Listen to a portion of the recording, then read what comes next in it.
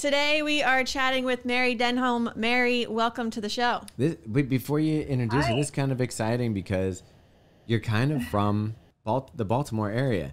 So there is a little bit of hometown Yeah. uh, vibe here that we get to get into. Now I'll say hello, and you can say introduce yourself.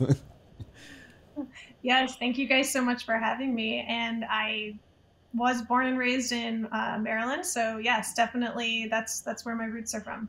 You guys must might have lived near each other. I was going to say, so I grew up in a little town called Phoenix, Maryland. I don't know if you're familiar with it, but yeah, so you were in Sparks, Maryland, right?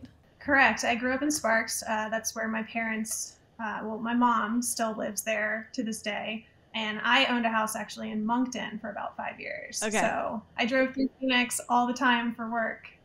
All right, so you, she said Monkton. If anybody listens to our podcast at all, they know that Monkton. Well, they don't know that Monkton has it, but the NCR trail that we talk about, the NCR marathon that we'll probably talk about on this podcast, uh, runs right through Monkton. So I'm going to guess that you were able to jump on that trail anytime you wanted. I grew up running on that trail. and I, yeah, I mean, to this day, when I go home to visit, that's like the first place I go to run. And I did the NCR Trail Marathon actually back, I want to say it was 2017.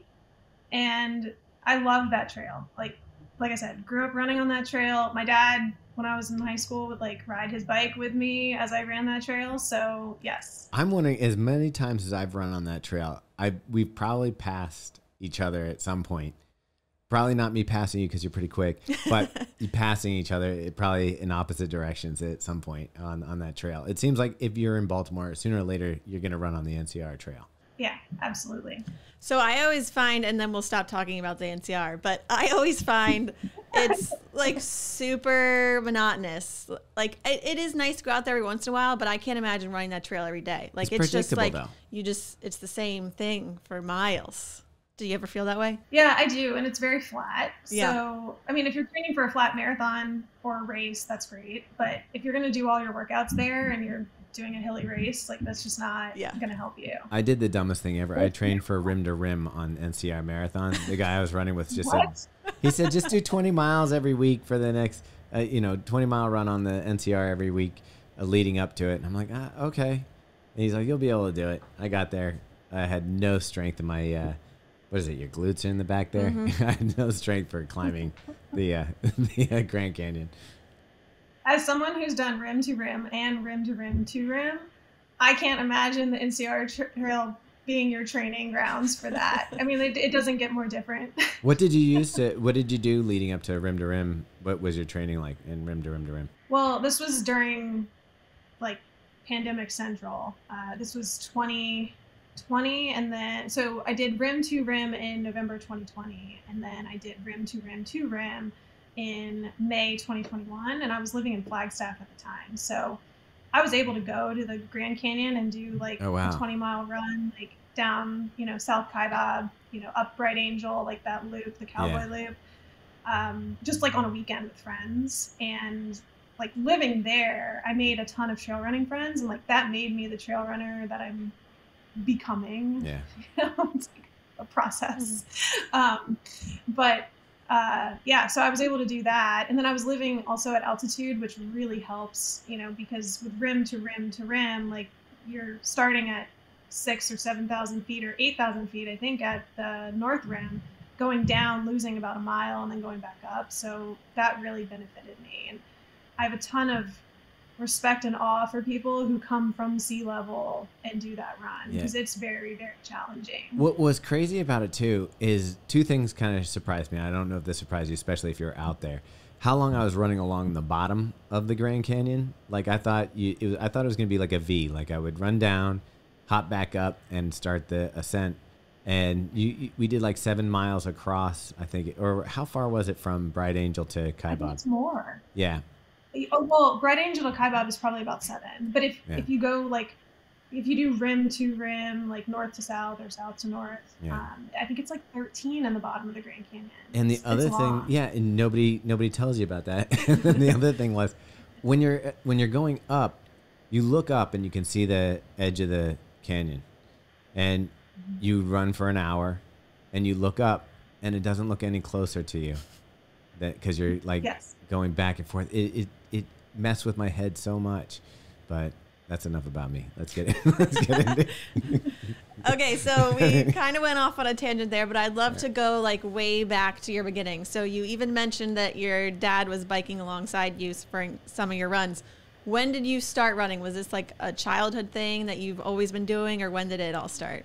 I mean, how far back you want to go? Let's go all the way. well, I think to the start of running, like when you knew when you maybe have realized that running was something that was going to be part of your life. Sure. I mean, I, I, I asked that question just, you know, joking because my dad took me for a one mile run when I was two years old. Oh, Um, and my dad was a runner and he never raced. He, well, that's not true. He raced some 5Ks when I was in college because I was using them as like a training for my fall cross country season just over the summer, like fun beach 5Ks down at, you know, the ocean shore, uh, at like Ocean City, Rehoboth, all of that. so yeah, I mean, he was always a runner, very active person. Um, he actually passed in February. Um, it's it's been a rough time, but yeah, he was the one who technically introduced me to running at age two, and you know, I was always like fast for like field day events in elementary school and all of that, and I did a mile fun run when I was I think eight, and it was at my high school. You ran down a hill and then you came back up, and uh, I just like let everyone go on the downhill, and then I caught everyone on the uphill, and Wow. I won. whoa. And my mom was there for it, and it's a great picture of me like breaking the tape. They had a, a tape, and that moment, I was I remember saying, I think I want to run like competitively. This feels good. This feels great. And so, you know, growing up in Maryland, I played lacrosse, of course, field hockey, you know, those standard middle school sports. And when I got to high school, I wanted to run cross country in the fall. And my high school only had a cross country team, they didn't have track. So I did run cross country all four years. And after that, I, wasn't interested in running in college. I wasn't interested in the structure of any type of competitive program really. I was very focused on skiing. I my family split time actually between Maryland and Vermont. So I grew up skiing. My parents loved to ski. That was their favorite activity. And this is crazy. But they would literally drive 8 hours on a Friday like afternoon to be able to ski Saturday, Sunday in Vermont and then drive back Sunday to then go about a normal week. That's nuts. Wow. I mean, I know. it, it, I mean, Vermont's nice and all. It's not like you know, it's not like you're hitting Colorado, you know, powder and all that. But wait, so are you doing this drive with them every weekend? Yes. Oh, Yes. and this is pre. And this is pre iPad, pre movie. Like unless you guys had like a two in one VCR TV that you brought along with you. We did actually. My sister and I would be in the back. We had a, a suburban, and then we had an excursion. Um, so if, like it was a what is it Chevy Suburban, and then Ford. eventually it became Yeah. Ford Excursion. And we had you know the drop down like TV in there and the VCR under the um, seat. Okay, that and my makes sister and I would like watch movies. We would do our homework, like, and that's how we would spend our Friday. Like as soon as we got off school, we would go up. And so because it became such a part of our lives, my parents ended up having a condo up there, and then I got really into competitive skiing, as did my sister. And we, I ended up going to a ski academy in high school, so I would like transfer up, and the academy was the, your whole day was designed around skiing. So like I would ski in the morning, train like racing like gates, and then go to school in the afternoon. And I did that in high school because I wanted to race Division One in college. My goal was it was very skiing focused, and I did ultimately ski race Division One in college, and then I did run in college too. But the school I chose was St. Michael's College in Mhm. Vermont, and they are division one for skiing division two for all other sports and so i did run in college all four years just cross country but it was more like club level i would describe which was great because i didn't come out of college like as burnt out you know and it's it's funny because now that i'm 34 like I would love that structure of like a Division One running program because like I very much live like that athlete lifestyle now, but I just I wasn't there in college like ready mentally yeah. for that. Well, you talked a little bit about your dad being a big influence in running, and obviously he he ran whether it was for um, exercise or he just enjoyed running. It didn't seem like he was competitive in races. Like, uh, like he might have been fast, but I'm saying it, it wasn't his goal. Where, where, was your mom in all of this? Where where's her? Does she fit into running at all for you, or is she just like more of a, a super fan of yours? Uh, she was active. Um, she was more into like walking and biking and things like that, and of course skiing.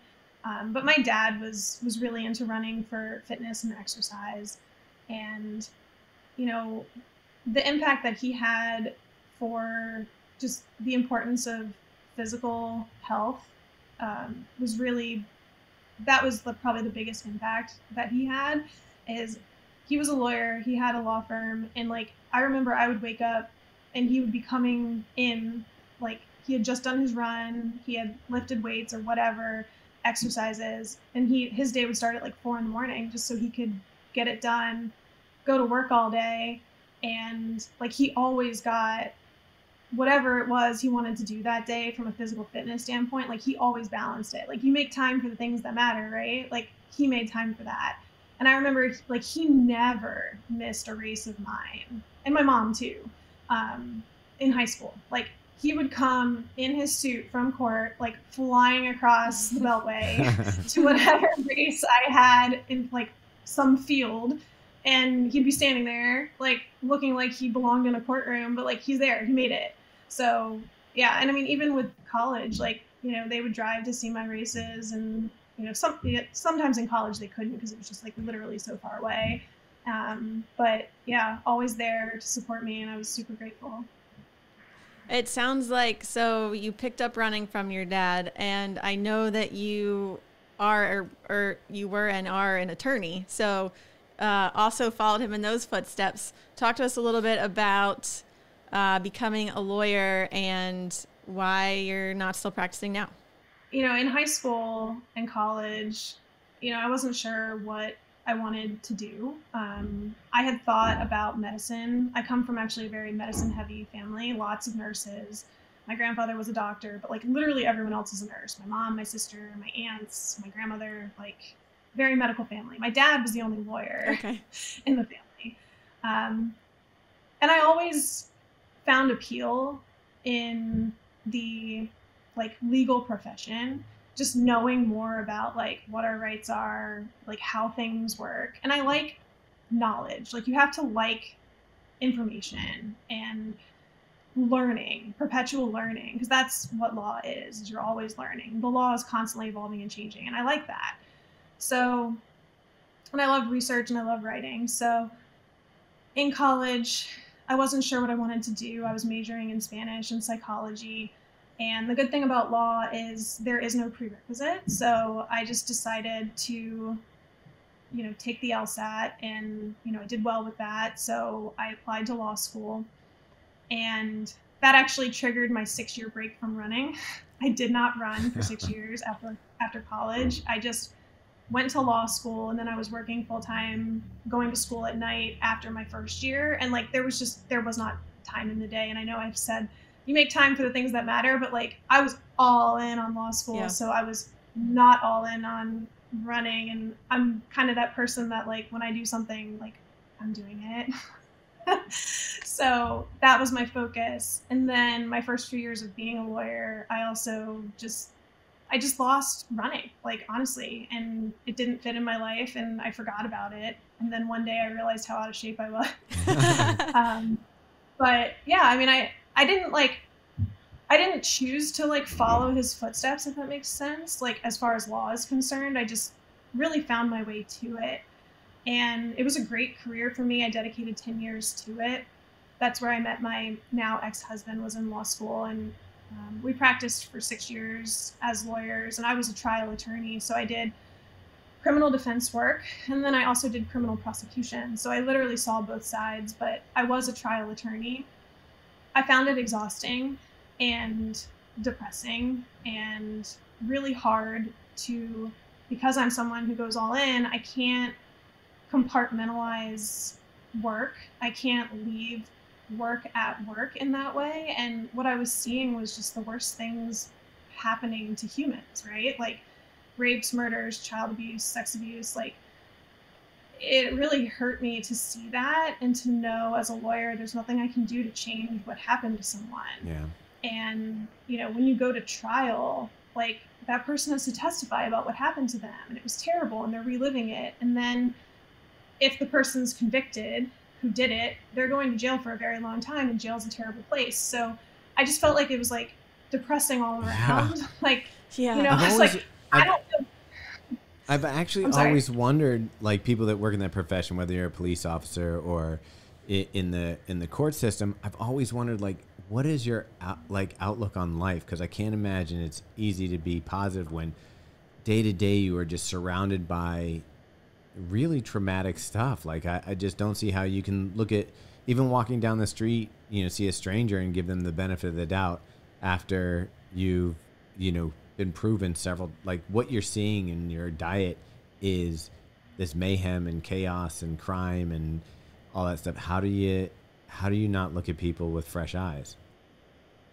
Well you don't or i couldn't. Like you like i i couldn't remind myself that like enough that this isn't everyone but i literally started to see only evil and like think the worst of people and, you know, I'm a positive, optimistic person. I felt that slipping away, and it just didn't feel in my nature to live in this profession anymore. And I also, like, yes, I'm a competitive person, obviously, mm-hmm. but, you know, I don't want my work week to be just fighting all the time, yeah. which is like it's conflict all the time. You're fighting everyone, and like you know, as a prosecutor, you're fighting the defense attorney. Sometimes you're often fighting the judge in a respectful way. You're trying to convince the jury of, you know, something. Sometimes you're fighting your own victim who's like getting on the stand and like saying something different or like recanting and you know they're not being honest and it's like you're just like I'm fighting everyone all day every day and this is exhausting. So long story short, my ex-husband and I were talking. We had been looking to move like to a different area um, from Maryland. Like we loved the West Coast, um, loved Colorado, loved Arizona, loved California. And so we had been making some trips and we had always thought we would just like stay lawyers because that's our trade. But we had decided because we'd have to take another bar exam. Maryland doesn't have reciprocity with like anyone. and so of course. like, well, it's like we're not totally happy. right. We're like, well, we're not totally happy as lawyers. So like, if we're gonna change our lives, let's like really change our lives. And when we thought about like what made us happy, it wasn't law anymore, honestly. And like, I am so glad that you know I became a lawyer because you know I have zero fear of public speaking. Um, there's so many skills that I've acquired in that time that I truly value. And like, I know how to research things and be helpful in that way in every career I've had, like every job I've had since. So, there, you know, it's not a wasted opportunity or experience. Um, I'm not throwing away a degree, like, I use it all the time still. And we ended up becoming business owners. And so the law degree really helped with that as well. And we bought two juice and smoothie bars in San Diego and we're living there, owning, operating those for a while. And then we ended up getting a divorce, and he wanted to keep them, which was fine. Um, and I had to find, obviously, a new job, and that's what led to marketing. And because I did all of it as a small business owner for you know several years, so I got hired by a marketing agency, um, and then that led to my current job, which is um, as a marketing coordinator for Rabbit, the run running apparel brand uh, based in California with Monica DeVreese, who we've had we've talked to. I think we've I, I don't know if we've had it on the podcast. I, I think, think just alive alive on, on it. So we I mean I've watched that the rabbit grow from its infancy. Um, we, we've gotten a chance to see it. It is really kind of impressive to watch uh, business unfold unfold in front of you. Um, and I, I remember seeing like the first first stuff coming out, and you know, just it, it's really taken off now. It's so huge, and like if you think about running, no, there's not anybody in running who's done it for more than a, a year that wouldn't know Rabbit as a brand. Um, so it's pretty interesting. How long have you been with Rabbit? Almost a year, but longer in a way because I've run on their Rabbit Elite team for almost four years now, wow. which is honestly what led to the job was, you know, I've been on their team in their community for four years and they were starting a marketing team and asked if I was interested and of course. Yeah. uh, it's all yes. It's also interesting because they come from the retail space. They have, uh, they had a local running store, correct? And yes, so the, it's, running company. It's not like they came out of this from left field and just decided they wanted to make running performance where they they saw what was lacking in the market. And you come in and you you obviously if you're Rabbit Elite, you've worn their gear for quite a bit. So mm-hmm. did you wear it when you OTQ'd? Yes, I did. Um, I've my story with Rabbit is actually my coach introduced me to it back in 2018. Um, and at that point, I would have been like their brand ambassador level. And had I known, I just missed the window to like apply. I didn't, I didn't know about them. He gave me a code for a pair of shorts, and I, I ordered two pairs of shorts, which still have to this day. And I tried them on, and I was like, yes, these people understand. Like, you know, because they really have managed to fit all different body types, which is amazing. And like we're expanding even more like size options, which is awesome.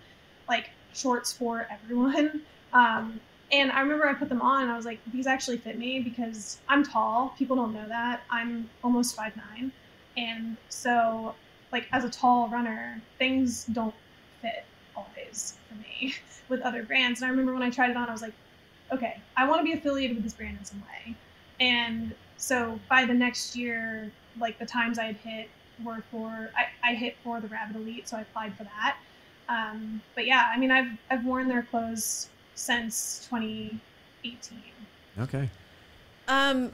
So at what point? So obviously in 2018 you've hired a coach, but at what point, um, once you decided you were no longer going to practice law, did you realize you wanted to go back and get competitive with running, or was there overlap? So that that would honestly be about 2015. Okay. Um, so I graduated college in 2009, and then 2015 is when I came back to running, like in a competitive way. And honestly, for those six years, I did not run like at all. Like I was not running. I was doing some yoga, but like I remember when I first started back, I was like, running hurts. Like, yeah. this is not a fun sport. So, like, I totally understand why people like hate running because it takes like weeks, months for it to like feel smooth again, right? Like when you're really shut down in that way.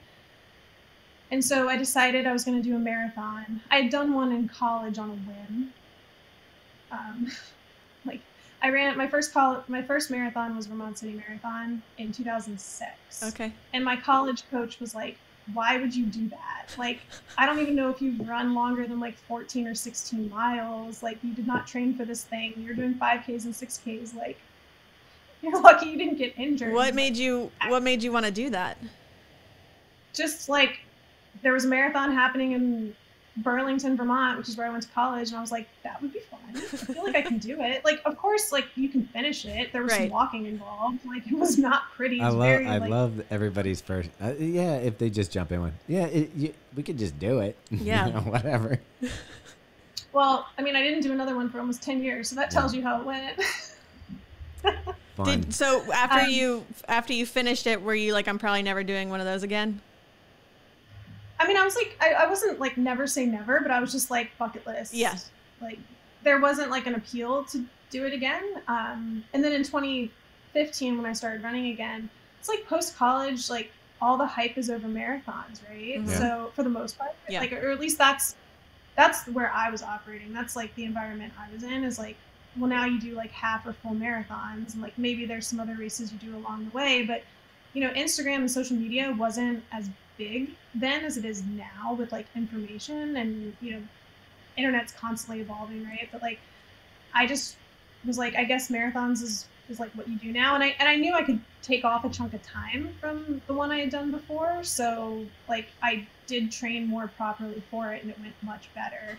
And then, so I I ran a 303 in 2015, and that's when like the OTQ seed was planted by some running friends of mine. Not for 2016 because that was too close, but it was Yeah. like, you know, four years from now, if you can run a 303 in your first marathon back, like you can, you should aim for this. And I didn't even know what OTQ was. Like I didn't know qualifying for the Olympic trials was something that like a non-professional runner could go after. I mean, I'm working as a lawyer. Right. I'm like, really?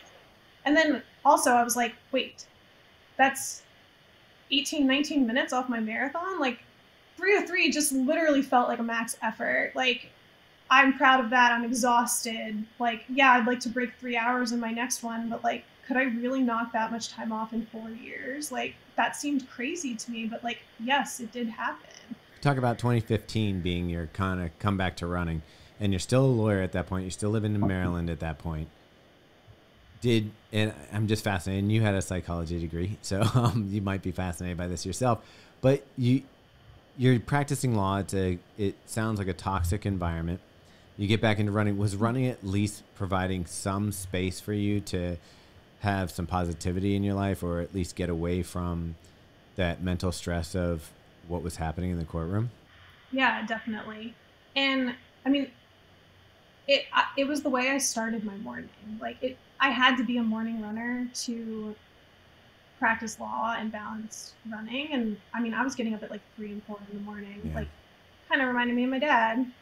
uh, it's like if I don't do it in the morning, like sometimes I get stuck with like a jury, and if they're deliberating, like I can't go for a run waiting to hear from them because they might have a question, and then it's like you have to run back into the courtroom, or and like you know everyone comes back in, judge reads the question, the parties deliberate on like what the answer is going to be to this question if you can answer it, or if there's a verdict, you know, it's like you have to like be on standby with your phone, like waiting in the courthouse. So like if and I would get stuck sometimes late, like seven, nine o'clock at night. Uh, so if I didn't do it in the morning, it just didn't happen. And it was really a nice way to like center my day and have that peace and, and time to myself. And that's when I started training uh, consistently. Was like 2015, my last few years of being a lawyer. How long did it take you to break three hours in the marathon after that first one? Longer than I wanted. Will Uh, Megan share that? any Uh-huh. any time goal I set becomes like, and it's not just me. I feel like it's everyone, right? It becomes like this barrier Mhm. that like becomes honestly more mental than physical. Um, like your fitness is there, you're just not pulling it together on race day for whatever reason. It took me, I want to say 18 months. Like I was like, oh, the next one, like I'm Mhm. going under, you know? And it's like, no, you're not. Um, so that was September 2015, Lehigh Valley Marathon, great marathon up in Pennsylvania near you guys. I That's where disagree with you on that one. What? I think you had a you like you had a, you had a positive experience. He had a bad appreciate it. race No. I've raced there three times. Okay, I've done the several bad I've done the. Lehigh three times. There's a couple areas. You had three bad ones there? I got one year. I got the. It was a year. It was 75 degrees at the start. Um, that one gravel hill you have to run up. You know where I'm talking about. Uh, Yeah. where where that goes up uh, is not my favorite. It's near the end. Isn't it like 20 something? Mm, I can't No. remember where it is. That that little loop that you go in and out of the park, like underneath. There's several areas where, yeah, Yeah. I just it, uh, I lost mine.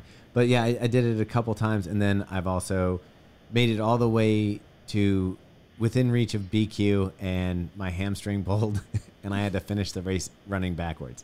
So What? yeah, Oh my god. so, so Lehigh's not my favorite. Okay, well that's how I feel about grandmas. So Okay. you know. Maybe we should switch. We Maybe I'll do well at grandma's. I'll Yeah. go do grandma's. What? I'll do grandma's, and maybe that will be like I'll be like, "What are you talking That'll about?" be your magical great. race, right? Yeah. So, but Lehigh, you Uh, won. Yes. and I ran a 303 there. And my college race, um, I had run a 339, so that was like a huge chunk of Yeah. time taken off. And and I knew that was going to happen because, like I said, I, I hadn't trained right for the college one, um, and there was some walking involved. Uh, but yeah, so when I ran the 303, that's when a running friend of mine said, you know, you can qualify for the Olympic trials. And I remember being like, I'm gonna break three hours 1st Mhm. um, Yeah. and then we'll go from there. Because that is such a huge barrier for women. Like, you know, the three, it, it is not easy to break three. Um, and I and I remember that journey drove me a little crazy because that was September 2015, and I did it because I wanted to do Boston the next year, and it's the last chance race. Yeah. And so I get to Boston, and like I was ready for the goal, no question. And going into that race, I was sick. I had like a low grade fever and like I had chills and I just didn't feel good in the days leading up to it. But you know how Boston is, it's like you pay thousands of dollars Mhm. like between the entry fee, your airfare, your hotel, and it's like none of it's refundable. So it's like, you know, we're going. Um, you know, it's like it's happening. Um, What, and I what also year was this? Was this is 2016? It was a warmer year, and like I remember sitting in Athletes Village, just like being cold and like not feeling well. And I did put a lot of pressure on myself for that race, like looking back. So it was just kind of like a number of things got to me, and I actually ended up DNFing. So I was a DNF at mile 15. And that was a new experience as to how long it takes to get to the finish on the shuttle. Uh huh. You might as well it's just like, continue to run Or walk. yeah, yeah. And like, it, it was like kind of, it was a medical issue. Like, I was seeing some stars, things were like going black, and I was honestly worried that I was gonna like pass out and like, you know, hit my head or get trampled because Boston, there's so many people running the race. So like I don't regret the DNF because I made the right call in the moment for like my safety. It wasn't like this isn't going well, I give up. It was Right. like this could turn bad. Um, so yeah, that I- was I rode a DNF van one time myself at uh, Steamtown. and I have to say, the DNF van is the saddest place on the planet. It's, you, it's, it's, just so zombies. quiet. People are crying. Oh. It's like Yeah. it's like the worst place you can ever be. Um, I completely agree with you. So it's like I'm a finish if I can finish, and that that's why you know grandma's ended up being a bad race for me. You know, several years later, but I was like, you're just gonna finish. You're having a, a bad day. Like you're just gonna finish. Like you're not having a medical issue. You're not injured. Like just suck it up and like get to the finish. Yeah. Um, but yeah, so that was Boston. I was a DNF, and then I did New York City that next fall, and I ran a 308. So now I'm moving backwards, I'm not getting closer to the three-hour barrier. New I'm York's so tough. Yeah, that's a It is tough. that's a tough course to try and go. I imagine sub three for the first time. Yeah, and I was so in my head about it too because my 303 qualified me for their like sub elite start. Oh, nice. And like I'm standing up next to like Molly Huddle, and I was just like, I don't belong here. Like I was freaked out, to be honest. So I felt tired by the time the race started because I was like in my head about Mhm. it. And like this is all lessons learned, and you know I've learned with time to just like let get rid of imposter syndrome. Just go relaxed into the race. You're gonna run your best if you see it that way. Um, but I share this because we're not robots. Like things get to us, and like that absolutely was what got to me that day. Because again, like ready for the goal, training says you're there, but like now we're going backwards. Like this is It's- not good. It's also such a hard start because you have to sit. I don't know what your experience was pre-race, but when I ran New York, I had to sit in the tent for hours before the race started. I had to get up at four in the morning to get over to Staten Island, you know, on their bus. It's just not the ideal setup for I think an amateur to go out and rock your best race. I don't know. Well, accurate, except I was in the sub elite start, so I didn't have that to contend with. So, what you just described of sitting in the village and like you're huddled with people and it's cold or whatever, like I Freezing. had that experience in Boston. Yeah, I had that experience in Boston, but it was warm. Um, and I completely agree with you. Like the majors where you're sitting out for a long period of time, like definitely disadvantages you know the amateurs like as you described like you know the non-elites i will say um, But as When I was in New York- I was in the elites. I was in like the sub elite. So like I can't I can't say that got to me because that's not accurate. Okay. Like what got to me was imposter syndrome and like stressing myself out too much, um, for sure. Uh, so yeah, no, but I completely agree with you. The big city races where you're just sitting in a field waiting for hours, like that's really hard, really hard. But I believe it's the next marathon that gets you that Yes. sub three. I do feel Yes. like you need that And- seesaw. Yeah. Marathoning's so It hard. was- it is, and it's so funny because I didn't tell anyone. It was like secret race, right? Like, Mhm. you know, because I start, I stopped having confidence in myself because of all these races that like I shared. I was doing this race. I was training with people, and I was like, I'm just not gonna like tell people I'm doing this. And it was coastal Delaware down in um, Another one I Rehoboth. didn't like. I mean, I understand why you didn't like it. I don't think it's the fastest course. And it ends with the half marathon. So, like, I was swerving Mhm. around people, and I didn't appreciate that when I'm, like, narrowly there anyway. yeah. But I remember I squeaked under. It was 259, like 32. And the last few miles, I was like, if you. If you break three, like you never have to do this again. We can just like stop Yeah, running. Like goal will be achieved, and then we're done because this is terrible. This feels awful. Like, why are you chasing this goal? Why is it meaningful? Like, you know. And of course, I crossed the finish line. And I was, I was done.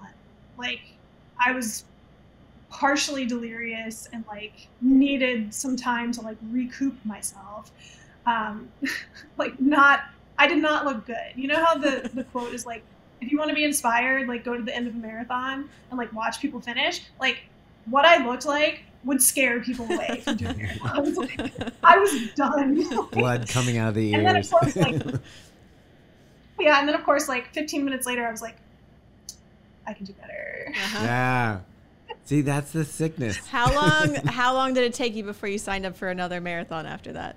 Uh, I don't remember, but it was probably pretty quick. I was like, what am I doing in the fall? Yeah. And so I ended up doing NCR marathon. Um, I lived in Monkton. It was so close. I love Yeah. that. I won't. Did it have the downhill Yeah. start when you did it? Yes. So it started. But it ended on the NCR trail. yes, that's what I love about the race. You come down from uh, what's the name of that school? Oldfields? Old Fields, and Mm-hmm. you so you have this start where you're probably going about a minute faster per mile than you should be, and then it hits the trail, and the, the trail kind of slightly feels uphill for a little while, and then you turn around, and it feels slightly downhill, and there's no surprises. There's no hill. There's no anything. It's just grab your pace and, and hang on. So so you did that, Mm-hmm. Yeah, and it's great. what what happened for you there? I ran 256 and you know, I I was like I feel like I should be you know, just under 250 or right at 250. Like, you know, I I, I still was like I'm not making the progress that like I'd like. Um and also plug their blankets at the end are awesome. Oh Yeah. Um do they still give those? Yeah. They do, and as a matter of fact, if you have the blanket, then you have a piece of my artwork because I I originally did the uh, Oh yeah, the that logo. piece for that. Yeah, so I still have it. then you know what? You have a little piece o- of, of my artwork in your house. Oh, that's awesome. Yeah. Very cool. yeah, I think they're gonna change it soon, but yeah, that that was there. So if you start having these feelings like you like you should be running 250 or under 250, are you like I need to change something or what do you what do you do next? Yeah, I took a break from from running competitively, like from racing. I was this was when we were planning to move. Okay. So um, we moved in 2018 to California. So that winter, I did mostly yoga and was just running easy, like very low mileage. Like I was running like 20, 30, 40 mile weeks, doing a ton of yoga. So June, I did a 10K out of nowhere. And I ran like, I want to say it was like 3630 Mm. um, on like hardly any training, hardly any running. It was mostly yoga. And it was like a no pressure situation. Um, Did it I was hurt? in, Like, were your lungs No. on fire? Anything? Nothing?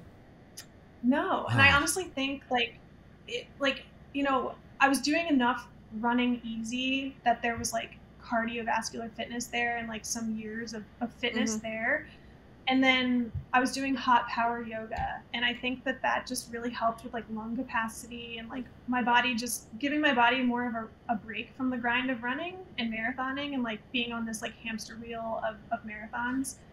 And i remember then i was in it was down um in like georgetown. It was like the love something 10k it's in june. And i was in an elite start and that time i didn't feel pressure. Mhm. um, i just was like this is a race distance that i don't do like ever. And i just let whatever come out and I, I ran a very consistent race. And with that i was like okay running is like you know coming around and you know doing more like cross training or, or like having a supplement to not be just running because I was really like just running before like obviously wasn't leading necessarily to success and like taking that pressure off was important. And so we moved that summer to California and I wasn't sure if I could fit in a marathon with my move. It's like such a drastic life changing thing to like sell a house leave a career buy other businesses like But move what's like, also crazy- travel You're talking 2018 when this is happening, right? So you basically buy this juice and smoothie place or two places right before the restaurant industry gets hit really hard. Like were you did you guys I mean 2019 was right when the everything was getting shut down. 2020. Did it did it it, it didn't Yeah. start in 19 so you had one year or so under your belt before all that happened Well, yeah, but like it's actually a to go place. So Oh. like mostly You were so set up in a good spot. It ended up being okay. Yeah, so we ended up being okay. Like we had to shut down briefly like when things first were crazy and one of our locations was in a mall, so like the mall shut down, which was obviously upsetting Yeah. to us because we could have stayed open. Um, and it was an outdoor mall in California, like not closed like Towson Yeah. Mall, like it's open. So it's like, why, you know? So, um, but we actually are. I'm still like in communication with my ex-husband, like coming off of the businesses, even to this day. But we had to shut down briefly, but we're able to reopen because we were a to-go place, Mm. and people i if you're going to be in the restaurant industry, that was a really good one to actually be in because people started paying more attention to health and Yeah. like wanting those healthy options. So our numbers, his numbers, technically at this point, are better post pandemic than they were pre pandemic. Oh wow. Which is Interesting. Yeah. That's fantastic.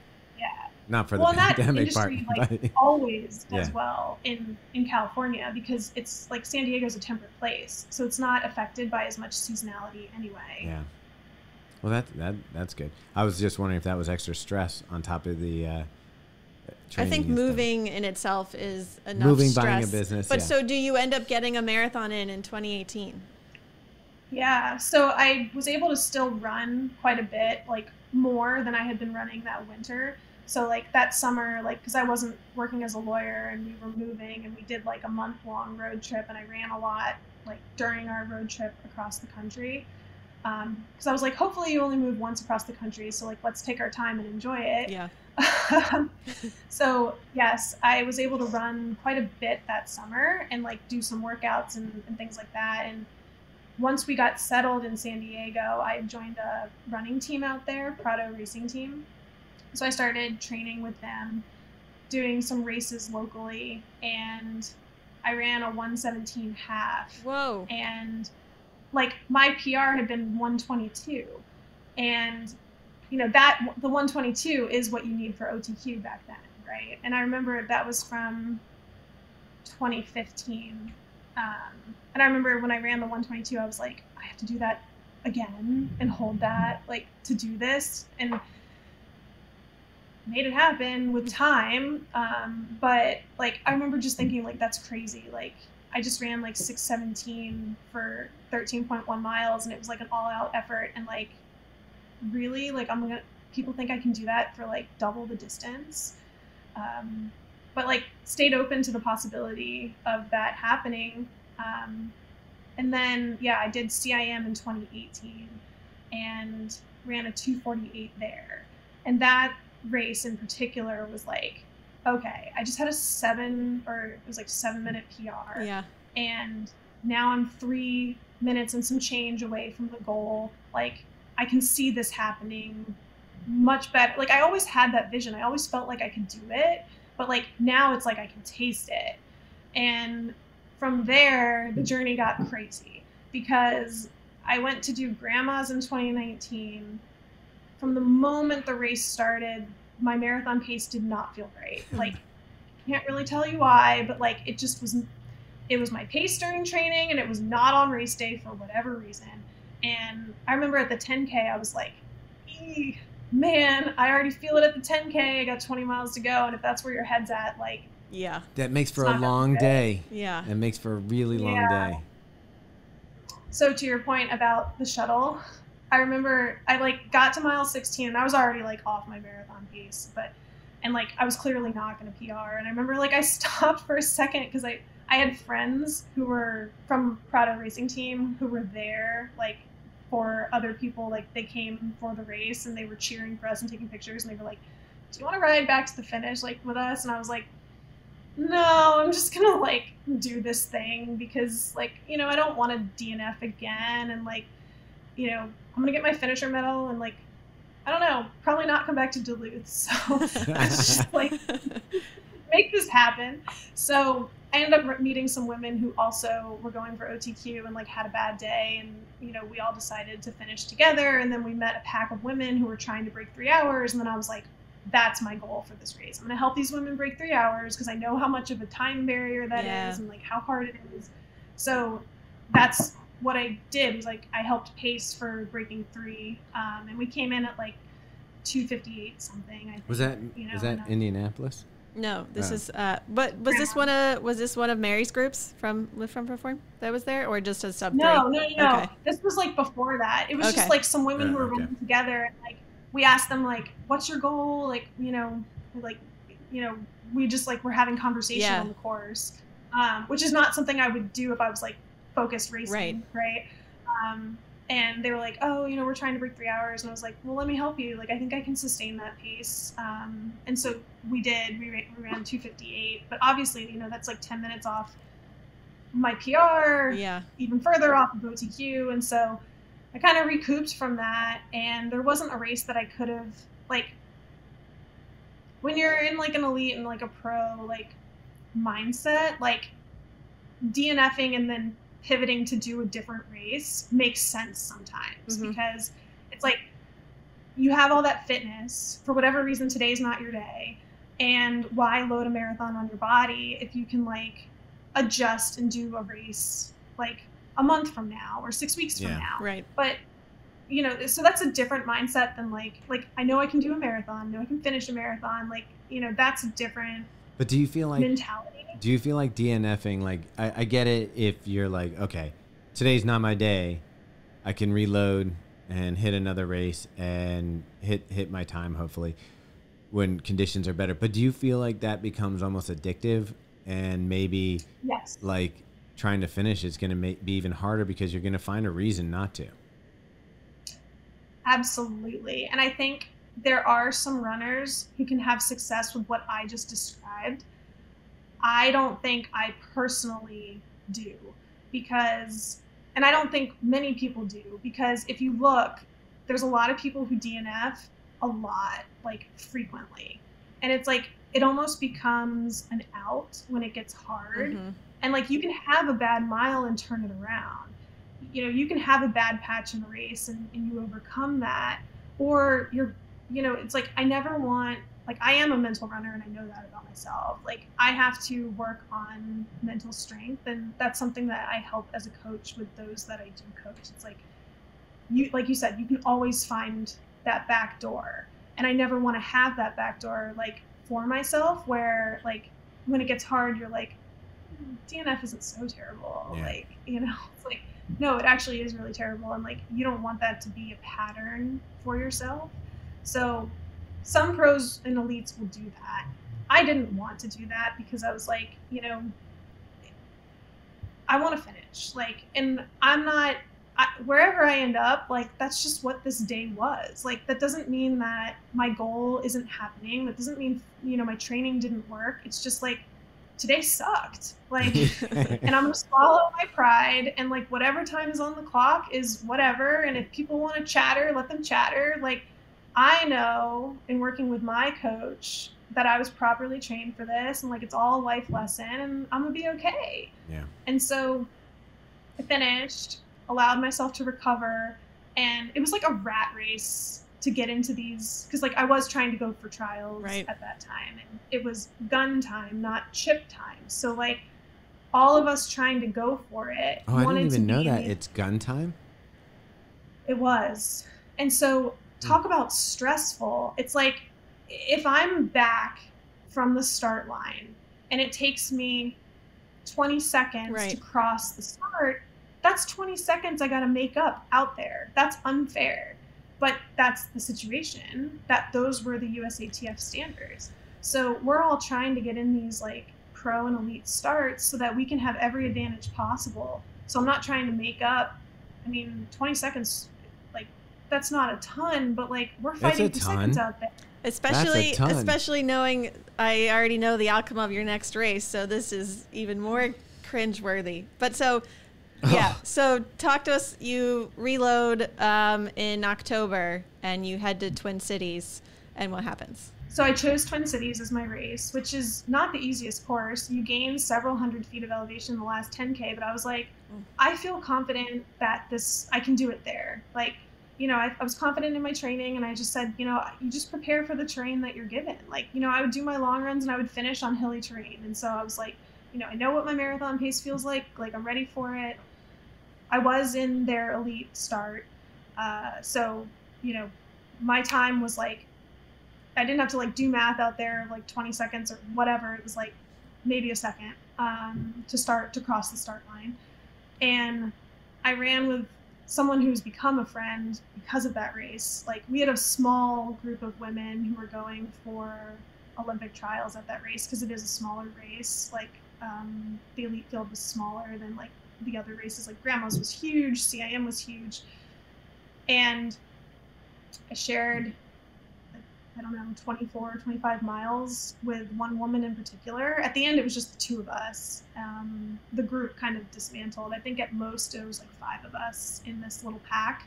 And we were on pace for like 243, or, I'm sorry, yeah, 243 to 244, like the whole time, like very consistently hitting this.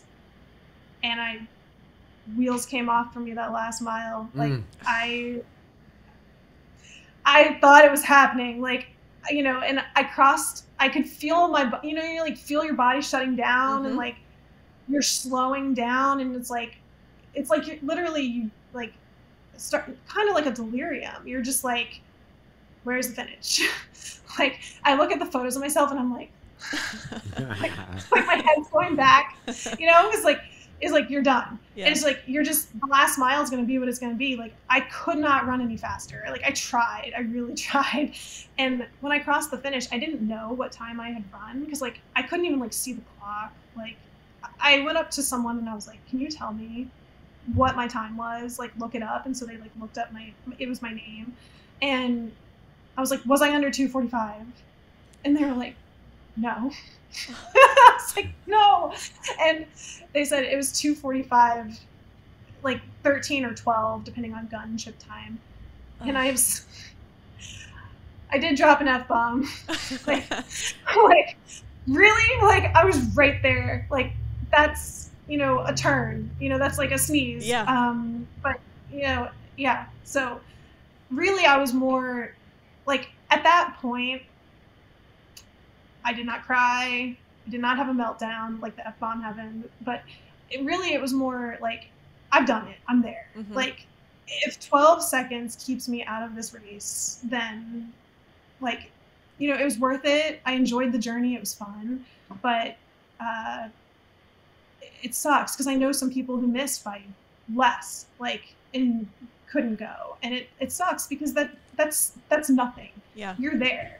Um and i my main frustration was like, can I pull it together in time? Because the window closes early January. This is October. Like, Yeah. is there time for me to achieve this goal?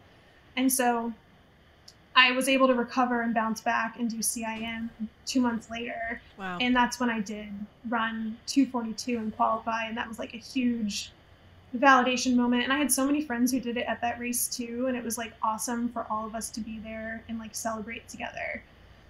That's amazing. When you're towing the line at CIM, like what are you feeling and thinking cuz like you have just like obviously you know you can do it cuz you were 13 12 seconds off whatever. But is there any part of you that's like doubting like why am I doing this again or were you like today is my day? I felt it was happening. It's, CIM was a race I had done before. I knew the course. I was confident in it. And I, by that point, had run so many, like, you know, Olympic trials or faster miles. Mm-hmm. And I really allowed myself to run where my body had settled in during training and not, like, you know, my coach was like, so, like, run your race. Like there will be a huge pack of people going for 244.30, right? And he was like, but what did we learn at the last race? Like, you know, I, I went out with like a pack because it does make life easier. But if that's not your pace where you've been settling in, like, first of all, it doesn't leave a ton of room for error. Like, not to bank time because that never works, but like, you know, I wheels fall off for me the last mile, which is common. Marathon's hard at the end. But like if your body's more efficient, like five seconds per mile faster or three seconds per mile faster, like let it run to its most efficient place.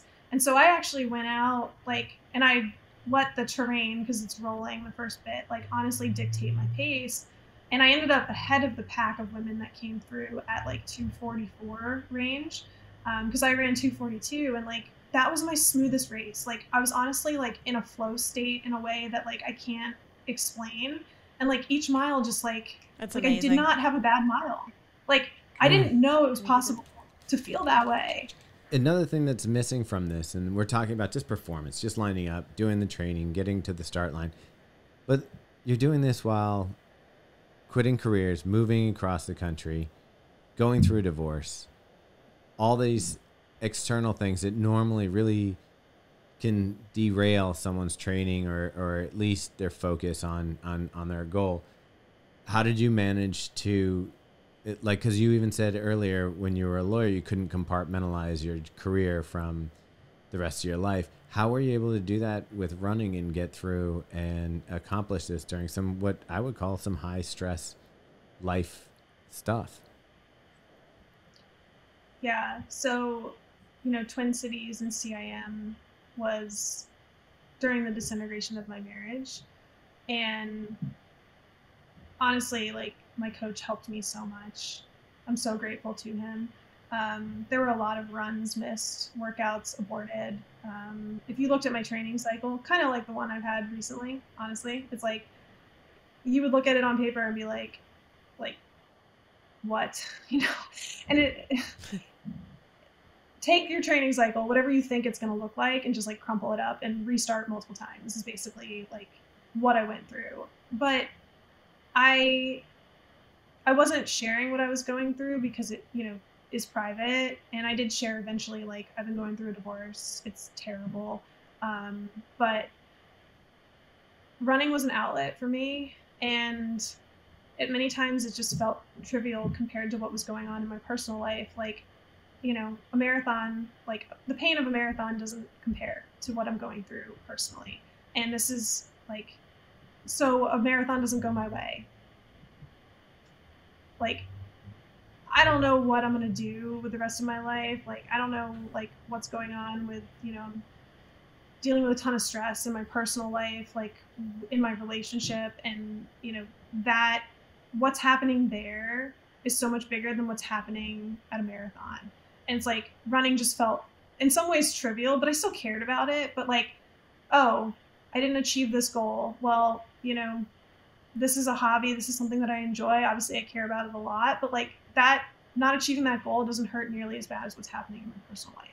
So, in many ways, that removed pressure for me because it's like I'm doing this because I love it and because it's fun. And if I don't achieve this on this little timeline, it's going to happen eventually. Like I'm going to run these times eventually. I can see that. I know it's coming. It just might not happen before whatever date in January so I can run in this race in Atlanta.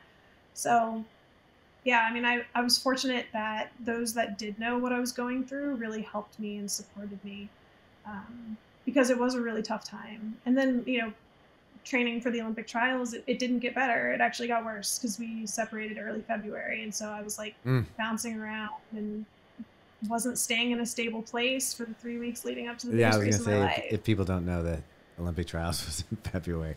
Uh, we'll just ask you a few more things because I don't want to keep you too long, but I do really want to hear about the trials race just because not only was that course insanely difficult, was the weather absolutely terrible. Were you apparently going through really hard times? You crushed it. You ran a PR you went in, I think, 180, ranked 189th, and you finished 51st. Yeah, I had a really good day. And, you know, I just credit that to like fitness over years, right? Like, um, you know, I'd done all these back to back races, marathons to get there, and um, recovered well. Like, I took one at a time. Um, and I really trained for that terrain. Like, I mapped out routes with a ton of elevation um, you know, I did like harder routes, honestly, than the Olympic oh, trials. Wow. Like my peak long run was 24 miles and it had 1400 feet of elevation. So like more than trials. Trials was 1400 for 26.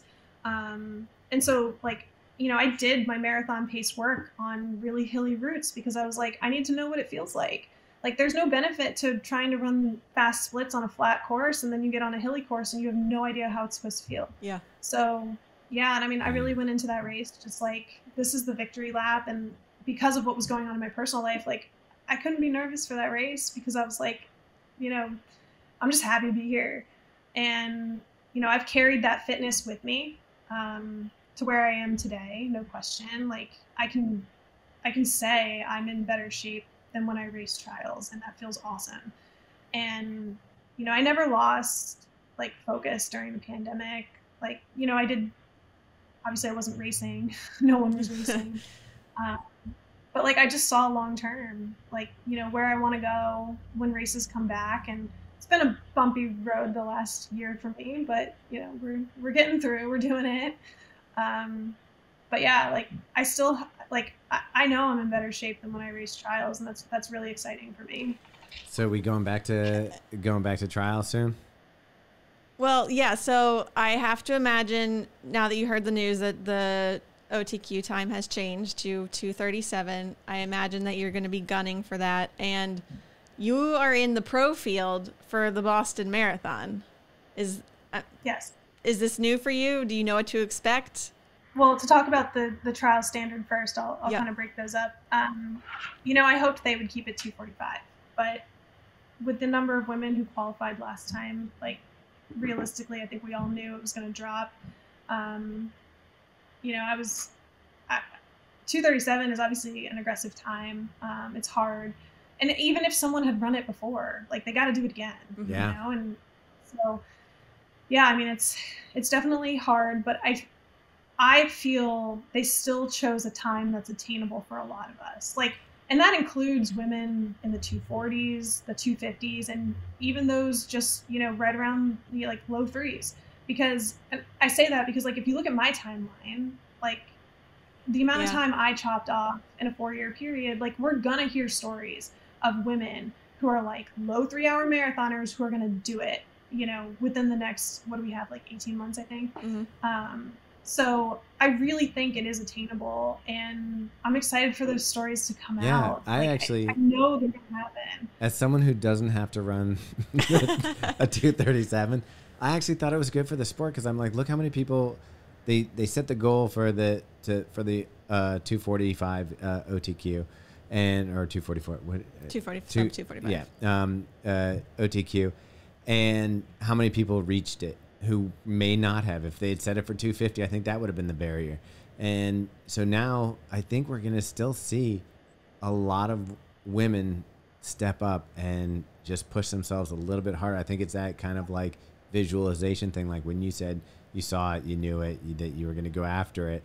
Um, it's daunting, I'm sure, if you've run if you're running a, you know, a 355 and you're like, geez, I thought maybe I could get down to a, you know, a, a 255, you mean? yeah, 255. Yeah, 355 would be a huge jump. but like a, a, a my first marathon was a 339, and Right. now Yeah. like, but like I, don't I count anyone out. Like you know, it's like that's what I've learned is like anyone can like. I truly feel like so many people can do this because I'm someone who's worked really hard to get where I am. You know, I didn't just come out of college D1 and like OTQ on my first. Like that's amazing. Congrats to you. But like I've had to fight to get where I am and like trust a long, long training cycles, years of work. Um, and I'm really proud of that. And I that's don't why trust. I don't I trust people say- who go right off the bat. I don't trust them. Well, that's why I say, like, I honestly think there's going to be so many women who can do this. Like, you know, if it's a goal, just work towards it, and wherever you end up is amazing. Like, Right. you know, if, you know, I'll be psyched. Like, you know, obviously I would like to hit it sooner rather than later, wouldn't we all? Um, but, you know, I think it's going to be a really cool day when I run, you know, if, it, if I run 239 that's an hour off my first marathon time. Like that's a celebration. That'd be pretty cool. Yeah. You know, and so like that's cool. If that happens at Boston, awesome. Um, and you know, for example, Boston for me, like place is more important than time for that race, like historically anyway. Um, but like coming into it, yeah, like I want to. That's the shape I want to be in, and that's the shape that I'm confident I will be in. You know, in two and a half whatever weeks from now. Yeah. Mhm. So, um, yeah, like I'm I'm excited for it. And as far as you know, expectations, like you know, what got me in that pro field is my performance at trials, um, because for the open women, like you really need to be in the 230s, like you know, for so like there's obviously like the Des Lindens and the Sarah Mhm. Halls and like that, like th- there's a kind of like two pro fields, if you will. Um, and then there's like you know the the second pro field, which is like us elite women who have for the most part run well into the 230s. Um, but you know my PR is 241, and that's the reason it got me in is that was such a hard race, and I performed well there. So you know that shows to me and everyone else like capability on on a better course. You know, so I've I'm very excited for the opportunity to race in that field and you know to see you know where I stack up. Like you know to be in that field and in Boston is like I just think like where I started, right? Like Mhm. my 339 Vermont City Marathon in college or Lehigh 303. It's like and now here's here's where I've I've gotten to and I'm like I'm very proud of that and I'm very excited for it and I'm I'm very honored you know to be in that in that field. What shoe will be on your feet at Boston? Nike. Any specific? Um, so I actually did have to declare my shoes because Oh. they do like a whole inspection, um, and we had to declare at trials too. I mean, they have like a whole setup where they like investigate your shoes to make sure all's good. Um, so they they have standards and like you can't race in every like the only certain shoes like they have like a list um, that you can use. The Alpha Fly I'm gonna say it wrong. I should I should know this. The Alpha Fly. That's. Uh, I mean, Right. you don't even have to do the rest Yeah, of it. Alpha, Alpha fly is flies. fine. But you, I think you actually did get the whole thing well, no, right. it, you have to. Okay, so the way they do it is technology, name, Oh. version. So it would be Air Zoom, Alpha Fly, next, Next percent. percent. Yeah, so complicated. Mm-hmm. Well, Yeah, and 'cause I've loved the Vapor percent, but yeah. what's interesting is I've been training a little bit in both, and you know at trials they gave everyone the Alpha Fly Yeah. like the day before, Yeah. and I was like, that goes against everything I've ever learned. Like I'm Uh-huh. not doing something different on race day, and like I went with the next percent because I had trained with that so much. As I've trained with both, like switching between the two, I've come to like the Alpha Fly more. But my initial reaction was, I don't like this shoe. Oh. Yeah. Well, it's weird when you're Change first running it. You're like, this is an odd sensation because you bounce, hmm and you're like, mm, I don't know if this is is is working for me. and then you do a couple runs, and you're like, wait a second, and then the next thing you know, you start leaning forward, and the shoe starts carrying you and popping, and you're like, ah, this isn't bad. And Yeah, I'm guessing. and then when you go out it, you're like, man, I feel the earth. like, like, like, can I get that back on my foot so I can like not feel the earth Yeah. as heavily? As Right, could and it's good for recovery too. Like I think afterwards, Yeah. your legs aren't as beat up after you've run a hard workout in the Alpha Fly compared to some of the other shoes. Well, Yeah, this definitely. is super exciting. We will be in Boston, and we cannot Yeah, wait. if you want bagels the day before, you can hang out with us. Yeah. Um, cannot wait to cheer you on. And yeah, I think it's going to be an exciting day. The the f- field of women that you are toeing the line with is Insane. exceptional, Bonkers. and uh, you deserve to be on that line with all of them. And it's going to be just super fun to to watch it all unfold. Thank you. Yeah, no, I'm very excited for it. Definitely. Awesome. All right, Mary, thank you so much. I'm sorry we took so much of your time today, but I really, really, really loved hearing your story because I can relate to a lot of I know. I it. felt like there was a lot of crossover. Yeah. for you. Um, so thank you for sharing and being so open with us today. Yeah, of course. Thank you guys so much for having me. This has been fun.